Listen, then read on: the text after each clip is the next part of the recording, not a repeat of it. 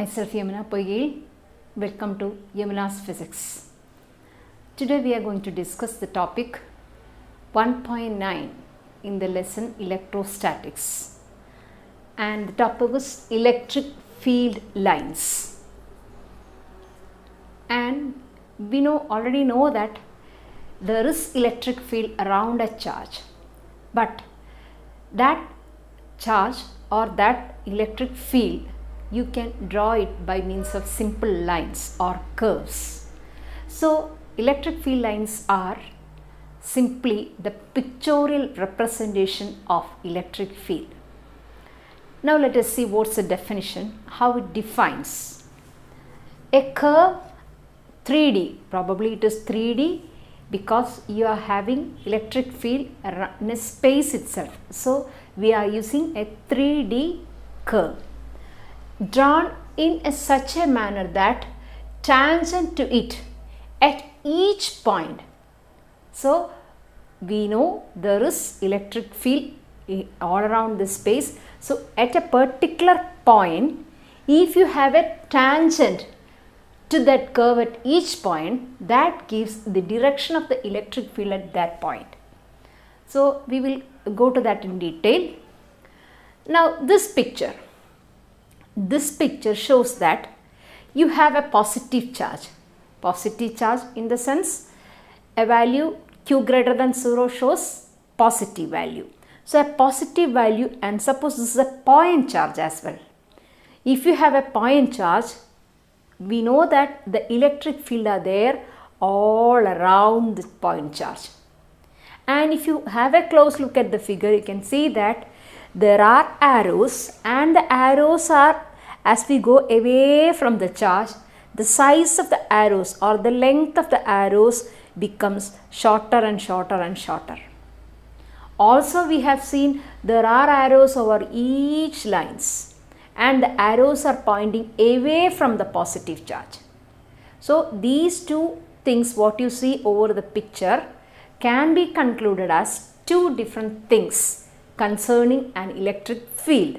Electric field is definitely a vector quantity which has both magnitude and direction. So this figure shows exactly both of it. One I told you the arrows. All the arrows are away. It is pointing out to show that that is the direction.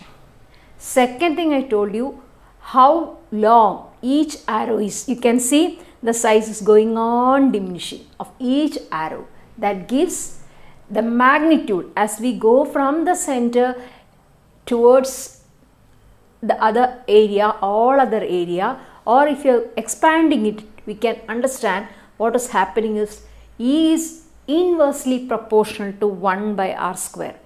We know that electric field is given by k q by r square. So, it is directly proportional to 1 by r square.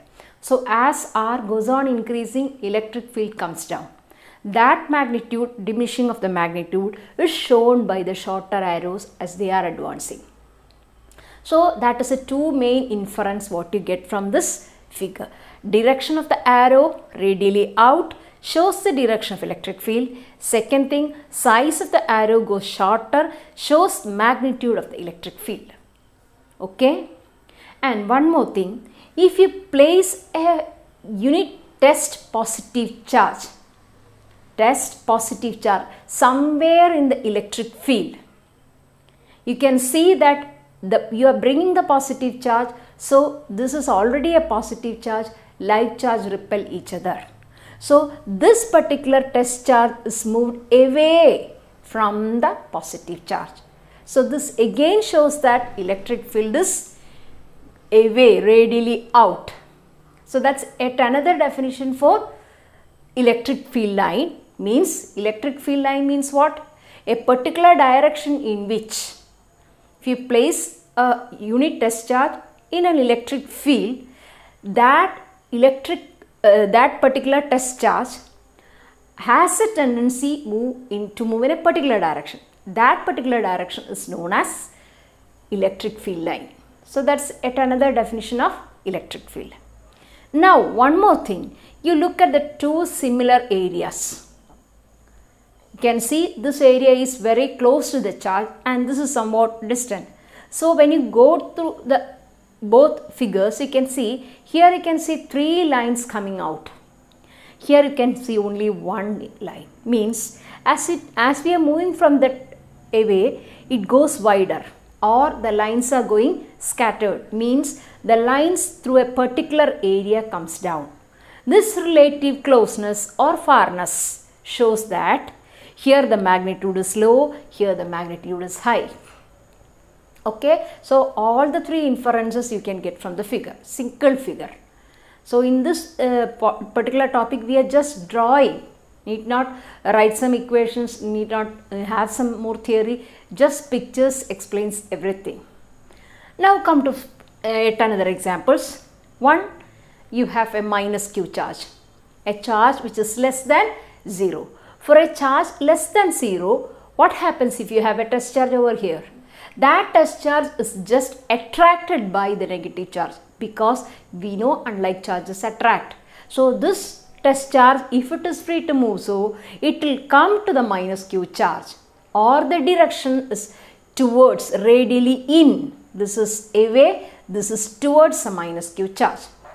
So this is for a value q less than 0. Now come if you have a positive charge and a negative charge if they are equal with the separation you call it by the term electric dipole. So if you have an electric dipole what about the lines of force or electric field lines? All of them starts from the positive all of them ends at the negative. And one more thing can see it starts from here it reaches here no more return back or it never forms a loop that will come again. So this is what happened for a electric dipole. Now you look at this if you have both positive charges. If it is both positive charge what will happen?